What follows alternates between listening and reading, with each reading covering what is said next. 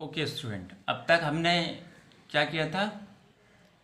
हम क्या कर रहे थे? मिडिल टर्म के फैक्टर कर ले रहे थे और क्या कर रहे थे? इक्वेशन को सॉल्व कर ले रहे थे, जीरोस कैलकुलेट कर ले रहे थे। लेकिन कभी कभी क्या होता है, मिडिल टर्म ऐसी होती है कि उसके फैक्टर ऐसे नहीं हो पाते हैं कि उसका प्रोडक्ट करने पर जो आए, कॉफिशेंट कॉन्स्टेंट टर्म और एक्स स्क्वायर की कॉफिशेंट के इक्वल आए और ऐड करने पर या माइनस करने पर वही टर्म बनी रहे। तो ऐसा जब नहीं होता है, तब हम क्या करते हैं? इस केस में हम क्या करते हैं? क्वाड्रेटिक इक्वेशन को सोल्व करने के लिए क्वाड्रेटिक फार्मूला या श्रीधराचार्य फार्मूला को यूज़ करते हैं। क्लियर श्रीधराचार्य फार्मूला है।